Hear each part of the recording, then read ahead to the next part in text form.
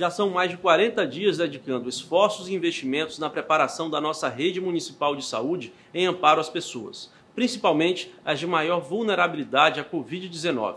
Estamos com 93 leitos clínicos e de UTI, e já estamos trabalhando para implantar mais 120 leitos clínicos na rede municipal. Também preparamos uma ala exclusiva em hospital municipal para atender crianças com a doença. E a partir desta segunda-feira, 12 unidades básicas de São Luís também começaram a atender exclusivamente pacientes com síndromes gripais e respiratórias leves. Garantimos EPIs e outros itens de proteção aos profissionais de saúde da nossa rede. E estamos destinando mais uma ambulância de suporte avançado para reforçar o atendimento do SAMU. Essas são algumas medidas novas que adotamos. Seguimos trabalhando sem medir esforços e peço mais uma vez que nos ajudem cuidando de si, da sua família e dos outros.